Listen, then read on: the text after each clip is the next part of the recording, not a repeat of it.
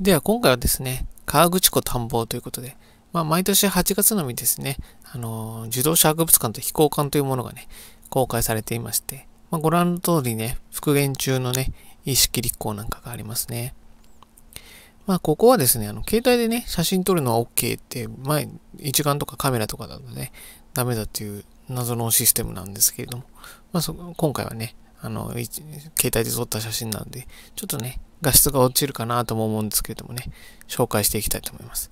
まあ、自動車館もね、飛行館も1000円ずつでして、ちょっと時間がなかったんでね、我々は1000円、1000円払ってね、飛行館だけを見ました。で、駐車場に着くとですね、まあ、外にもね、こういったものがあってですね、まあ、これ戦後の飛行機とかはね、外なんかに展示されてますね。まあ、どうしてもね、大きいからなのかなと思います。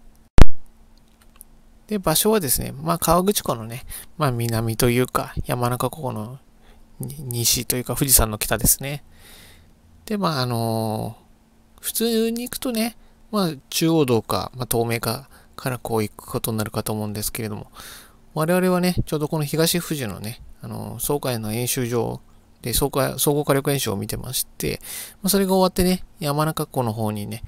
行ってお昼を食べて、ここに行って、また夜の演習に戻ったっていう形ですね。まあ、演習終わるとですね、どうしてもね、この東名とかの方面はね、すごい渋滞になってしまうんでね、まあ、この北方面にね、ご飯食べたりしに行くのもね、いいのかなと思います。で、早速ですね、まあ、はやぶさのね、1型を見ていきたいと思います。まあ、日本にね、現存する唯一の機体だったです。まあ、このようにね、あの、まあ、非常にね、こう、綺麗な状態でですね、まあ、塗装もね、あの、美しいかなと思います。まあ、足がね、この時はまだできてなくてですね、これからね、もしかしたらできてくるのかもしれないです。まあ、正面から見てもですね、まあ、エンジンが入っててですね、まあ、もしかしたらレプリカかもしれませんけど、これ非常にね、美しいのかなと思います。で、次にですね、まあ、世界で回るエンジンをこの生き延びということでね、栄の12型を紹介していきます。ちょっとどうしてもね、画質が悪くて申し訳ないんですけど、この12型のね、エンジンがね、まあ見れ、見れるとか回るのがね、ぜひね、あの回る機会もね、聞けたらいいなと思いますね。まあ、坂エンジンってね、こう独特の音でしてね、あの、オリジナルもね、海外では飛んでるところもありまして、毎年ね、ゴールデンウィークに行われていた、あの、血のエアショーとかね、そういったところだと聞くことができますね。まあ、コロナでね、またどうなるかわかりませんけど、早くね、再開してね、見に来て人、行ける人は見に行ったらいいのかなと思います。あとこれね、大花ですね。まあ、石切立候がですね、大花をこう抱いてね、あのー、突入というかね、あの、離陸していったというんでね、まあ、石切立候とセットでね、展示されています。で、下にね、まあ、石切立候がありまして、まあ、半分以上はもう復元というか、あの、元の部材をね、使わずにやってるんですけれども、それでもね、よく復元されていまして、このようにね、横から見ることができます。まあ、マークも入ってますね。正面のね、このカーブのところもね、綺麗に復元されてまして、まあお金もかかってるのかなと思いますしね。まあこの中をね、透けてみることもできますね。まああとはね、あのー、翼とかね、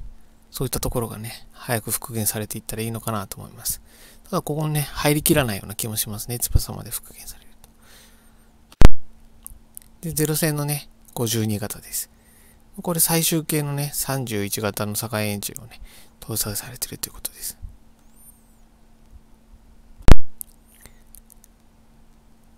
まあ、エンジンのそのカバーもね、外されていてね、エンジンがよく見えるようになってます。こうやってね、中よく見ることができますね。まあ、他にもですね、まあ、こういうエンジン類とか展示されてまして、まあ、見ることができます。で、こちらはね、21型ということで、ゼ線の90%以上がね、オリジナルの部材だということです。で、本物のエンジンをね、あの21型に使われたエンジンを装備している唯一の機体ということで、まあ、この翼のね、先がね、折れ曲がってるのが美しいですね。まあ、こういった感じでね、いろいろ展示されていてね、非常にいい場所だなと思います。これはね、陸軍の4式のハヤテのエンジンですね。他にもね、まあ、エンジンがたくさん展示されています。これもね、栄の12型ですかね。で、最後にですね、この骨格のね、あの、復元中みたいな部材がありまして、まあ、風立ちるにね、出てくるようなね、かっこいいような感じですね。ではね、あの、以上になりますね。ぜひ皆さんもね、あのー、去年はちょっとコロナでね、あのー、空いてなかったと思うんですけども、今年もね、チェックしていける人はね、行ったらいいのかなと思います。で、以上になりますね。ありがとうございました。